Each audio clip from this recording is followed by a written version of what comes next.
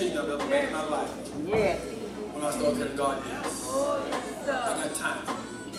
I get joy. I got time to do I get a whole lot of things. Because see, Yes, Lord. I didn't experience peace. I wouldn't say yes. Now there's peace Yes. when I say yes. It doesn't Oh, yes, yes. sir. When you say Yes, yes. To all who Yes. trust and obey. Oh, But then you start to ask, no more delay. Yes, Lord. When you say yes. Yes, Lord. I wish I could convince you. Yes. Stop telling God later. Okay. Oh, Stop telling God not now. Stop telling God after I do this, after I go here, after I've been here, I've done this job, I've done this event, I've done this activity. And just say yes. Yes, Lord. ain't no rules. Nothing. Because he said yes to those who say yes to him. Yes, Lord. All the promises of God in him are yea, and by him, amen, to the glory of God. We are missing so many promises and blessings of God because we are so busy that we can't tell God, I'm too Okay. afraid to say yes, I'm too busy to say yes, I'm too bothered to say yes, I'm too bitter, burdened, bewildered, phone, bedazzled to say, I don't know what's going to happen if I say yes, it's just going to get better, that's all. It's just going to get better. I may not see it better, but I know you see it best. To all who trust him. There's no given answer. I can answer everything. I can answer everything. I'm not confused about nothing. I can answer everything. And there's no delay. He ain't never missed me on time. Because I learned to say, I didn't say I learned to be perfect. I just learned to say yes. I just learned to be faithful. And I guess my greatest failure, I probably, that's all of us, say yes to God. Yes, if I get back from the funeral, yes, if I get back from my happy end, and I be on the walk, man, yes, if I do the cooking, yes, if I go over that, go over that, and I'll tell you yes. God, not want to count. I don't even want to count. Today, God challenged the disciples, you know, chance to say yes to Him. You know, sometimes we can't say God, yes to God little things. We don't have time for reading Sunday school, prayer, and worship. We can't say God, yeah, God, yes, and no. And, and, and, and, the, and the, the, the, the, problem is we miss all God has to offer us and we tell him no. That's what Jesus busy complained about religious folk, was that they were so busy engaged in religion, they would tell him no. And he said, he said, I have pipe, and you want the hits I've sung. So you don't want to play Sunday school with me, you don't want to play Bible prayer with me, you don't want to play morning worship with me, you don't want to play prayer with me, you don't want to play with me. That's what niggas complain about religious folk. He can get to play with him. You know, y'all, y'all gonna play with Jesus? Jesus out there? I don't play with Jesus, I'm busy. And ladies and gentlemen, 2,000 years later, we're still, we won't play church without Jesus. In our text this morning, God was trying to confess his disciples that been with him for two and a half years that they left. He wanted them to say yes. There were four things he wanted them to know. I'm going to get to the text in a moment, but I should let y'all sit down. First of all, he wanted them to know that I, leaving. We get upset when folks say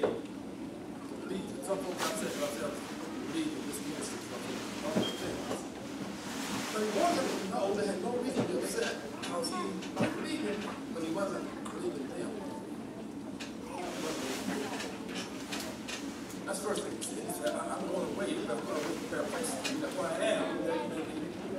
So stop let not your heart be troubled. He's letting you afraid. Stop imagining their works.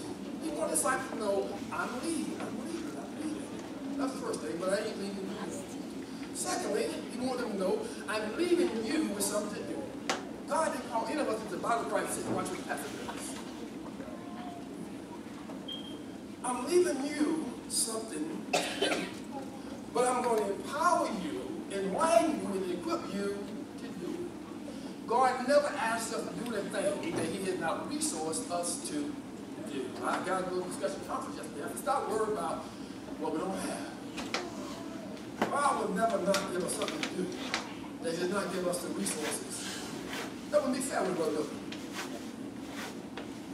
He asked me to do something that, that he wouldn't instruct me to do. He wouldn't empower you to do. he wouldn't give me the resources to do, and that he wouldn't use me while I would do. So stop talking afraid of doing stuff for God. Being afraid when it shows up, how it shows up, who shows up, and who's in charge it. If God gives to do, let's just do what? Let's just do it. Stop getting upset about who's supposed to do what. We all supposed to do it. Somebody may be in charge of it, but we all supposed to do it. There's no, there's no, there's no uh, folk elected to watch over folk. There are no folk elected to instruct other folk. There are folk elected to be an example to other folk.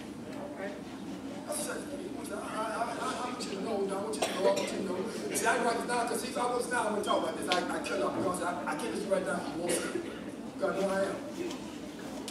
So, the third thing is, um, I want you to know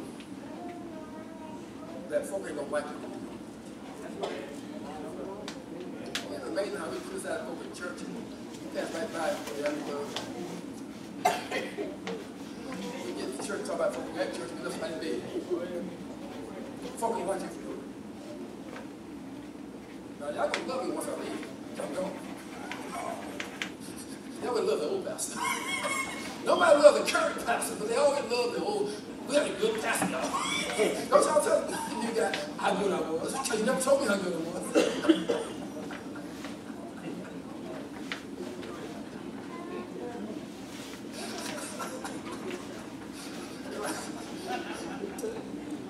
And, and then the fourth thing he want to know that he's coming back. And I'm missing one. I'm missing one. He also wanted to know, he also wanted to know that if you say yes to me, if if you do what I ask you to do, I'm going to bless you for doing it. So very quickly, the fourth thing God wanted his disciples to know in our text. One, I- I'm leaving, but I'm not leaving you alone. Two, I'm leaving you with something to do, but I'm going to empower you. Three, I'm going to bless you for it. And four, I'm going to like you while you. And four, I'm coming back to receive you for what you've done. Amen? We got it. So I want to use our text on our communion Sunday, on our Christmas season. I want to use this thought to keep it focused. The, the blessings of Christmas. Everybody say it. The blessings of Christmas. And, and, and the subtitle is Gifts under God's Christmas tree. Gifts under God's Christmas. Some of us like Christmas, some of us don't like Christmas, some of us enjoy Christmas, and some of us don't enjoy Christmas because for many of us, Christmas is always a time of busyness and hurriedness and getting tangled up and wrapped up and all the stuff that goes along with Christmas. And I don't criticize anybody for how they celebrate Christmas, but God is to us that Christmas really ought to be a blessing, not a burden. Christmas ought to be a blessing, not a bother. Christmas ought to be a blessing and, and not a challenge. That we ought to enjoy Christmas. We ought to enjoy the season of Christmas. We ought to enjoy the idea of Christmas because Christmas is a blessing. And blessings came at Christmas. All right. Christmas not about buying gifts. Right. I know y'all laughing, but, I thank God my mother was not hung up and my dad was hung up buying gifts for me at Christmas. Now you can't help, bro, Larry can't miss the that you never had. And I didn't lose my mind, and I didn't go to jail, and I didn't lose my job, and I didn't get a whole lot of stuff at, at Christmas. So, so Christmas is, is not really about buying stuff and giving stuff, although it's all right to do that. My, my wife loves Christmas. She spent, she has spent the last two months making a little Christmas do that. I got bad. She, she got stuff laid on her house, a little piece of candy, and she made a bunch of bags for St. Andrew, a bunch of bags for Indian Creek, and she just got bags, bags, bags, bags, and I ate one of my piece of candy. You don't mess up my count! I got to redo the whole thing and put up. I had a piece of cake I want to be. I went back to this cake, that cake, and you ate it.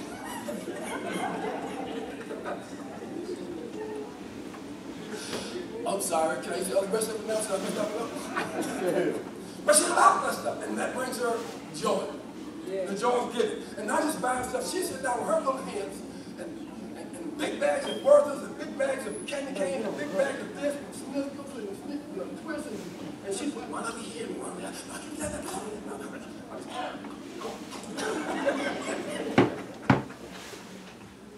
But God wants us to know that He gave us Christmas and He sent Christ to die for us so Christmas can be a blessing. That's Amen. The first blessing, Brother Jacob, if you read your scripture. You know, Matthew chapter 1, verses 21 to 23, the first blessing of Christmas. Then be you rejoice John chapter 14, verse 27, John 4, chapter 16, verse 33. I want you to know that Christmas is designed to be a blessing. And, but the blessing comes, as John sang this morning, and I know John's going to sing it today. I thank God he put in John's spirit to do that today.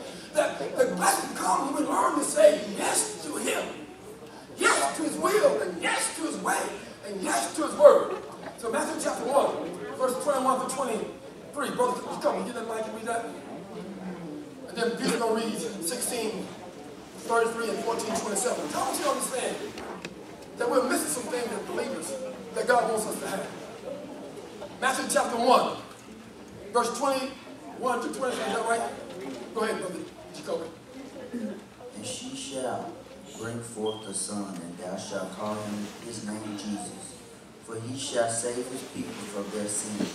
Now all this was, was done, that it might be fulfilled, which was spoken of the Lord by the prophet, saying, 23, Behold, a virgin shall be, be with child, and shall bring forth a son, and thou shalt call his name Emmanuel, which be, being interpreted, Interpret. interpret is God. So the first blessing, verse 21 was they should call his name Jesus. Why? Why should they call his name Jesus? Because he saved his people from their sins. So the name Jesus means he saves. That's what the name means. He saves. And then in 23 says he shall be called Emmanuel, which means he's what? He's with us. So there's a, there's a blessing of salvation, and there's a blessing of his presence. Through faith in Christ Jesus. All right, brother, please. John 14, 27. Peace I leave with you. My peace. My peace I give unto you. Not as the world give you. Let not your heart be troubled, neither let it be afraid. Jesus said there's peace on the God's country. And it's not, you can't get the peace he has from the world. Ain't no Negro can give you peace that God will give you.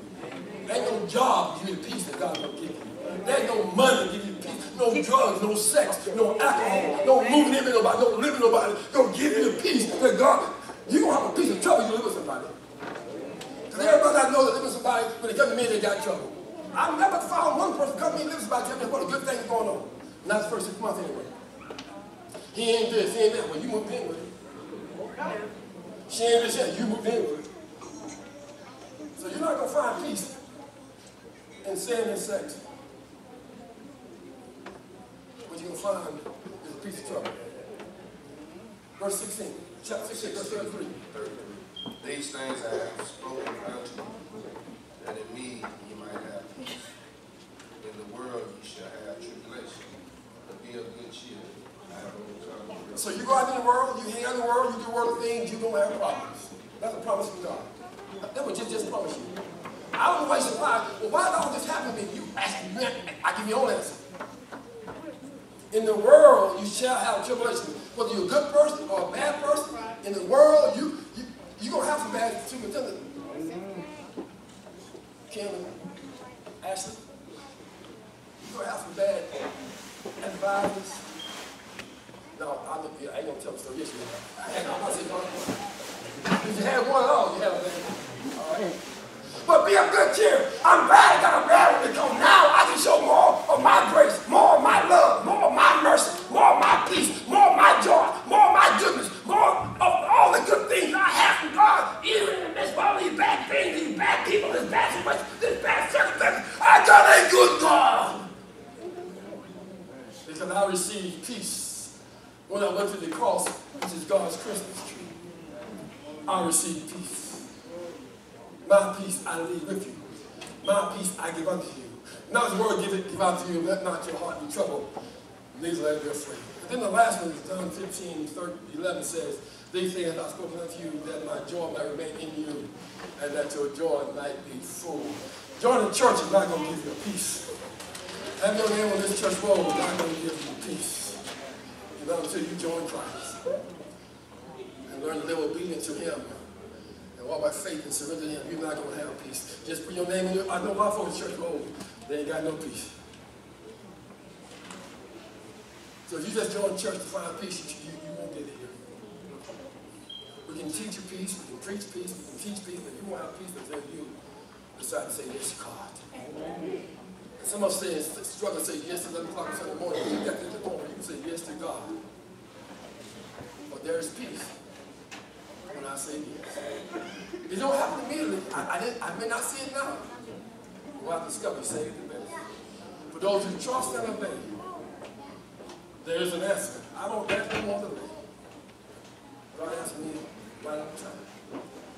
In our text, Jesus would let, let the disciples know that he was leaving. John 13, he got them together and they celebrated the Lord's Supper. And he said, if I been your Lord and Master, I wash your feet. You all also wash one another's feet. He said, you say Lord, and you say well. Then you should do as your master has done. Doing what Christ says do brings peace. Doing what Christ says do brings joy. And there is no other source of joy and peace but through, through Christ Jesus. Said, I have given you an example that you should do as I've done. And then he told me in verse 14, chapter 14, I'm going away. But I'll not leave you comfortless. You'll always have the presence of the Holy Spirit and the power of the Holy Spirit to bring you peace, to bring you joy, and to experience the love of God. But he also said his spirit cannot dwell in an unclean vessel. We're not going to live right, and do right and serve right. The Holy Spirit is not willing to empower us and to enlighten us, to instruct us, because we're not willing to listen. And then he told me John 15, I want you to have a joy. One of, the, one of the benefits and the blessings of becoming a Christian is that we ought to be experiencing the joy of the Lord. That we ought to be able to rejoice always. And again, I say rejoice. Because we have the blessings of God. Somebody said in 9 o'clock prayer, this joy that I have, the world didn't give it to me. Amen. But sadly, too often, doesn't take much for the world to take it away. This peace that I have, the world didn't give it to me. And I ought not to be so bothered that allow the world to take away the peace of God was passing all understanding. He wanted his disciples to know that he believed it, but they did not want. He only gave them one commandment. We make a lot of rules in church. They gave one commandment. Amen. That you love one another as I love you. That you keep my commandments and love me as I have loved you. There's no way to experience the peace of God. There's no way to experience the joy of God. There's no way to experience the love of God, a sign for walking in obedience to God. You can't, you can't change it, brother. Hard work it. Obedience is it. Making up on the back inside ain't it. Obedience is it. And, and, and what we've got to decide that I believe God so much. I trust God so much. I'm leaning and depending on God so much that I'm going to say yes to what God says do. And I believe it's all that we get where God wants me to have. Jesus wanted his disciples to be prepared for the sack. That he would leave them. That he wouldn't be there with them in earthly form and in bodily manifestation as he had been. But he wanted them to know. And then, uh, 2,000 years later, that's God's message to us this Sunday morning. Have you come to church? Have you come to Christ? Are you experiencing the joy of Christ? The peace of Christ? The love of Christ in your life? Then if you want to experience those things, say yes to Christ. Yes to salvation. Yes to sanctification. And yes to service. When you say yes to God, God will say yes to you. And the blessing that you receive from God, from saying yes to Him, those blessings will flow throughout your home, throughout your family. If you want to make your children be blessed, then say yes to God. Because He'll bless your children through the blessings He gives you. As you celebrate this Christmas season, and as you celebrate life, the real celebration is when you say yes. Don't put God on. Don't put God on your schedule. You get on God's schedule. Don't put work God in your plan. You make God's plan, and you work your plans around God. But I think we too easily allow ourselves to plan God around us rather than us around God. Too often we decide we include God rather than allowing God to decide us what to include. The Bible says the man's heart devises his way, but God the way. We all got plans. We all got things we devise and things we plan to do. But until we say yes to God, our plans are just plans. They may not have the affirmation and confirmation and the blessings of God. As I look at this text, and I know what was in the mind of Christ, because he spoke in John 13 what was in his mind. I know the agony that he was going through. I know the dilemma that he was facing. I know the pain and suffering that he was about to experience.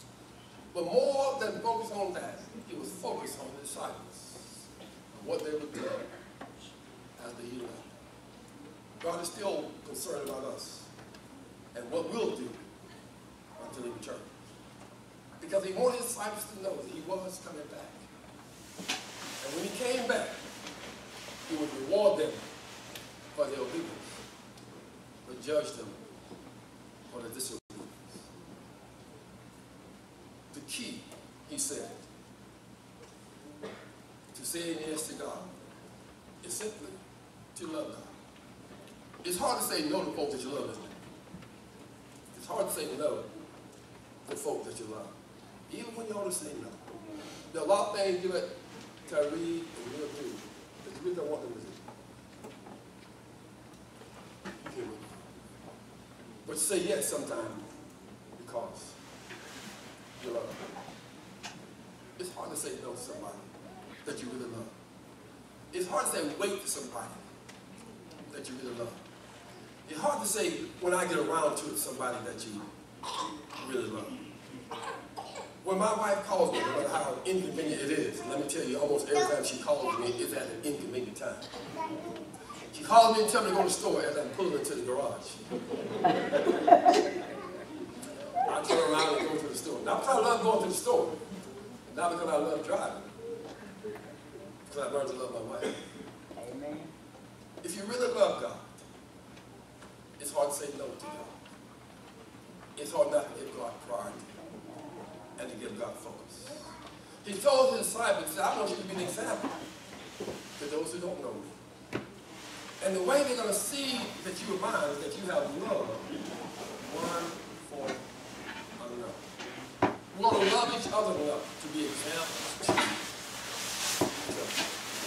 I should never let what I would do is example to you. I would love that.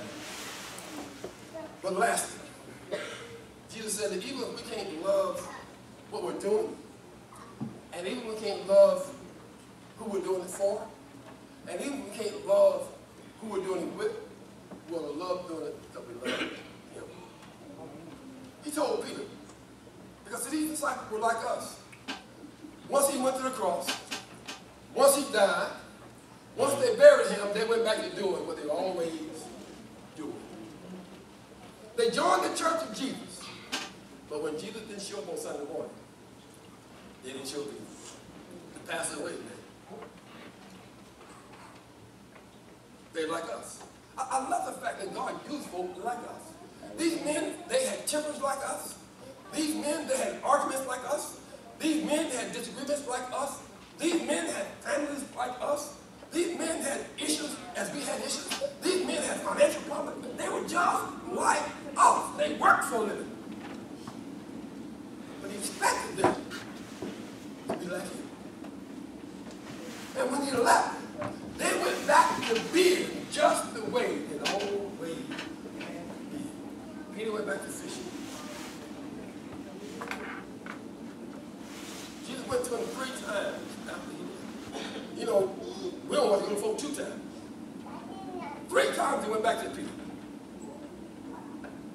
Jesus had to stay here another 40 days after he died. Still trying to get the disciples to do what he already been trying to get them to do for the three and a half years that he walked with them.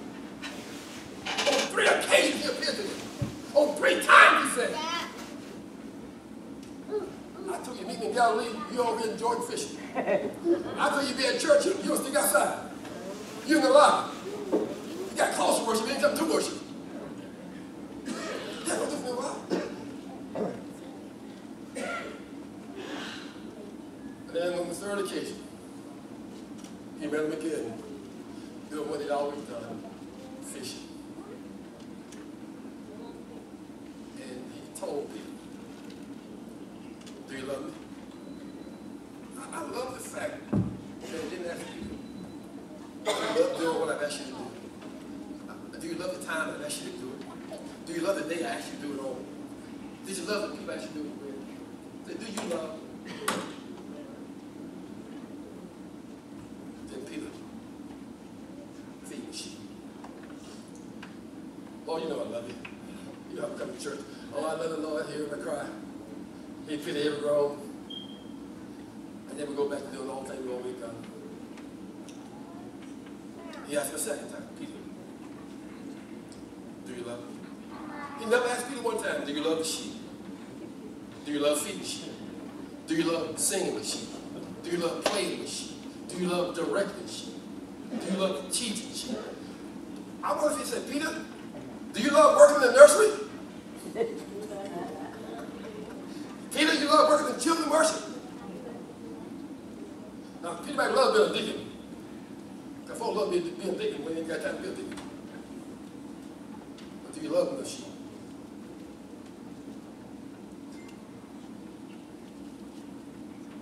Do you love the sheep? He didn't ask that question. Too often we are only influenced by what we like to do, and with whom we like to do it, and when we like to do it. That's not service. That's not service. That's religion. Do you love me? You- I- I'm glad asked if he loved me. But I think people would have been honest. No, I don't like sheep. I don't like food with them. I don't like the smell of them. They don't listen. They get lost. They got to be groomed. They got to be bathed. They got to be fed. They, they grind, grind, grind. No, I don't like sheep. But he never asked. Do you like sheep? Do you love me? But the real blessing is when we say yes to God, God says, the greatest struggle in my life, when I was having difficulty saying yes to God, because I had plans, Sister Letty, that didn't leave God out, but just didn't give God much room. Because I had things to do. I had places to go. I had people to see. I had a career, I had a job, I had an education that I was trying to pursue.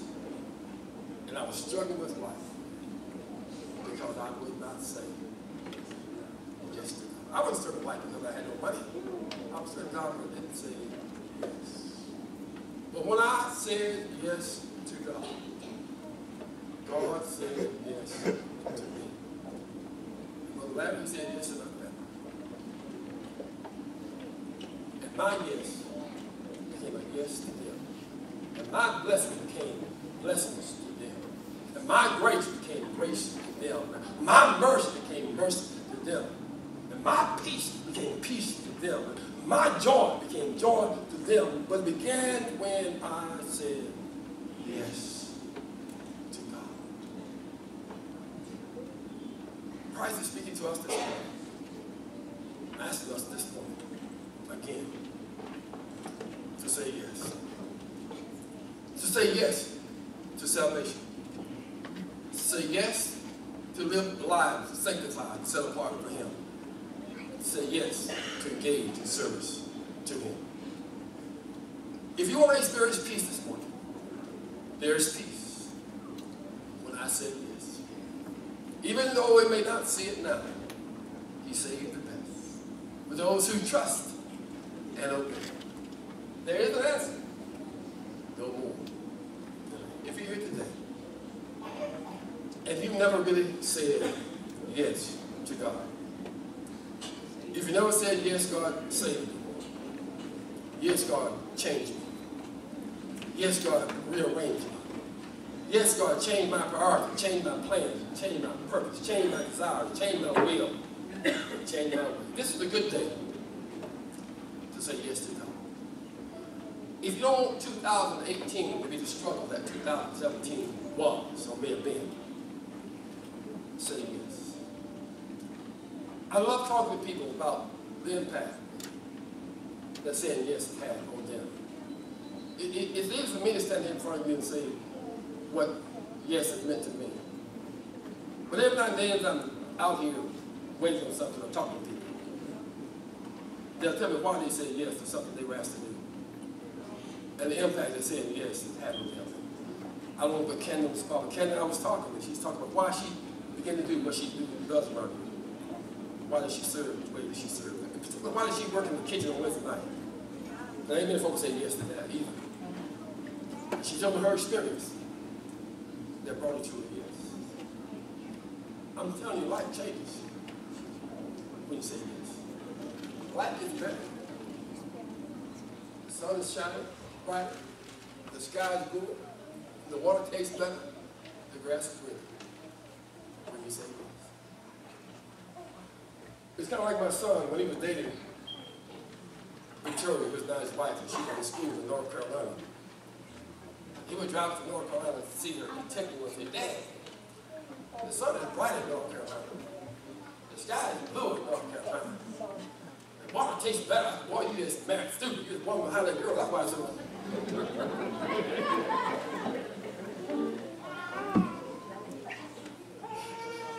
Take me out, it's, it's shining bright in North Carolina.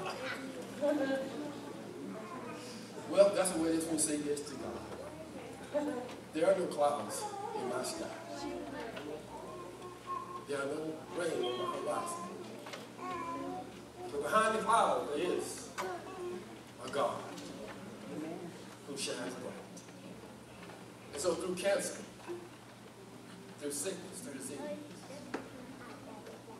when I say yes, saves the best.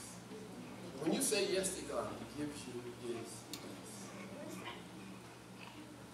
Because you say yes. If you want your life to be better,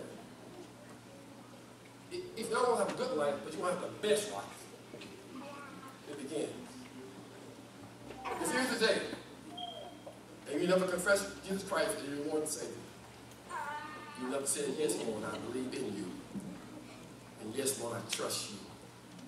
And yes, Lord, I give my life to you. Why don't you come right now and just say yes to God? Don't worry about these folks who are looking at you. Amen. A lot of them have not said yes. All right now. A lot of them have only joined the church but never joined Christ. All right.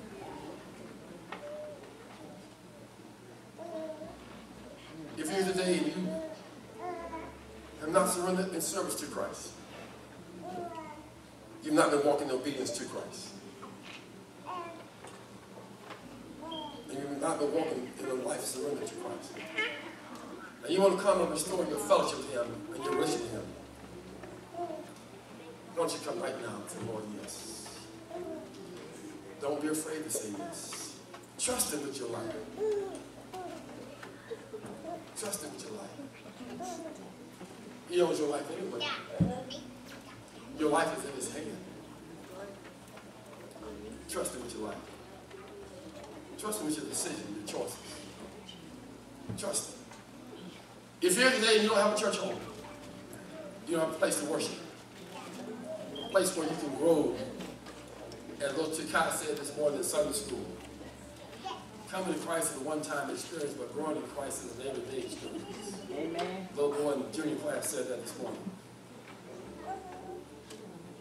and you want to have a growing experience, you to come and say yes. Christ today. Yes, Lord, I trust you. And I believe that surrendering to you and giving priority to you is not going to hurt me. It's not going to make my life worse. It's going to make my life better. It's not going to make my load heavier. It's going to make my load lighter. Because I have a heavy load share. I'm a burden bearer.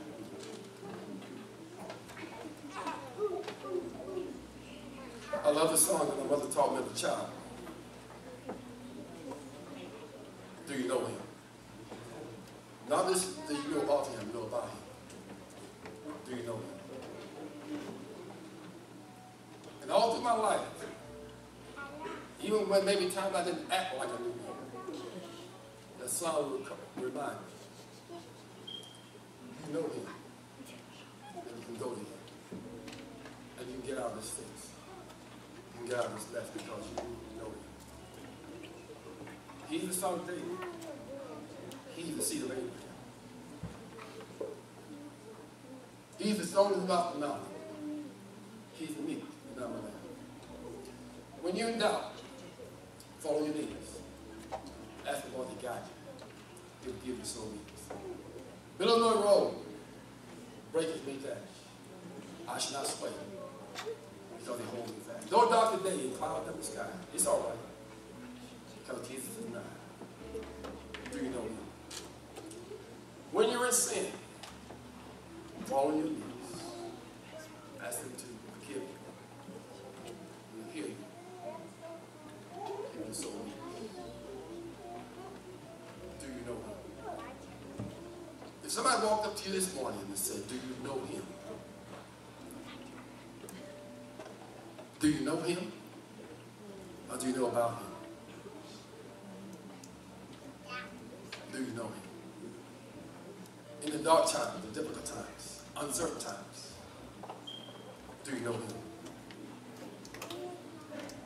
Bad times, good times, sickness and death bereavement, do you know him? Do you love him? Jesus says finally in John 10, My sheep hear my voice, and I know them. And they follow me. They don't just come to church, but they follow me. And I give them eternal life. And they shall never perish.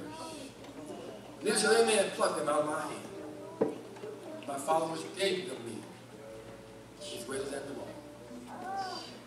That's what you can have when you say yes. That's what you can know when you say yes.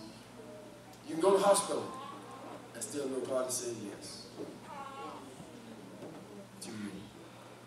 Is that one today? Candidate for baptism? For rededication and restoration? For membership by letter Christian experience? Are you experiencing the blessings of Christmas? Are you experiencing the blessings of Christmas? The joy of Christmas? The peace of Christmas? The love of Christmas? In Romans 5 1, Paul lays out all the gifts the God's Christmas tree. And you ought to be opening those gifts every day. Because you're a Christian. And you have the gifts the God's Christmas tree. Let's give God some thanks.